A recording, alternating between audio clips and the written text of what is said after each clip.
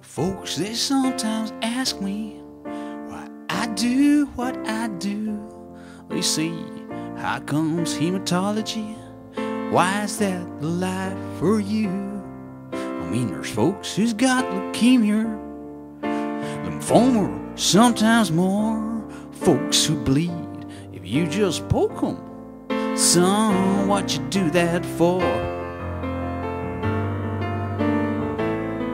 So I say, hematology don't suck.